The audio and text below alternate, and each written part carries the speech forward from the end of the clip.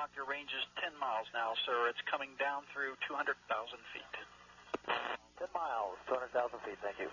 10 miles from vertical flight, um, and it's through uh, 200,000 feet.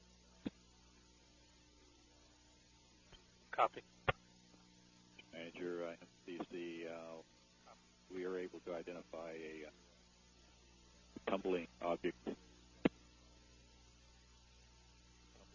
Copy.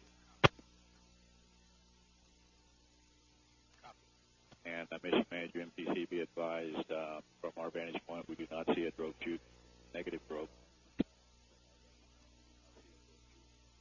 Copy.